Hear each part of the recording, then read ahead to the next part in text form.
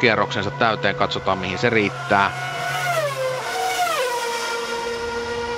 Pitäisi riittää kärkeen periaatteessa, jos tuo viimeinen sektori. Eilen oli, varsinkin tuossa toisessa harjoitusjaksossa oli erikoinen juttu tuolla viimeisellä sektorilla. Siellä tuli, tuli aika paljon takkiin, takkiin kaikille kuljettajille, mutta paitsi sitten Lewis Hamiltonille ja näin sitten Niko menee